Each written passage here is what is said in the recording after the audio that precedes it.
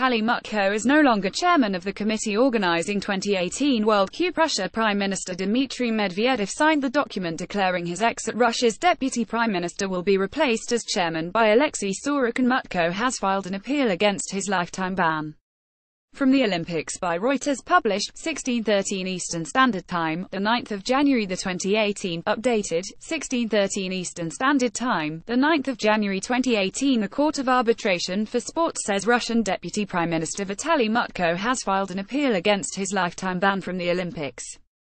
Mutko, a former sports minister, was deeply implicated in Russia's doping plot at the 2014 Sochi Olympics by two IOC commissions and a World Anti-Doping Agency investigation. Mutko's ban was imposed last month ahead of the Pyeongchang Winter Olympics next month.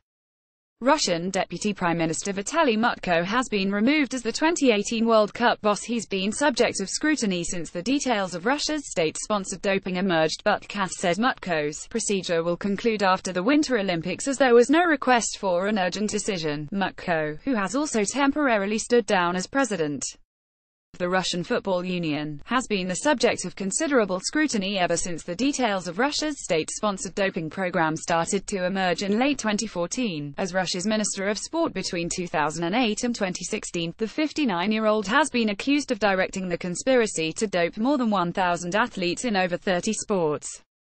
Mutko left shared a Kremlin stage with FIFA President Gianni Infantino at the World Cup draw last month. The International Olympic Committee banned him from the Games for life.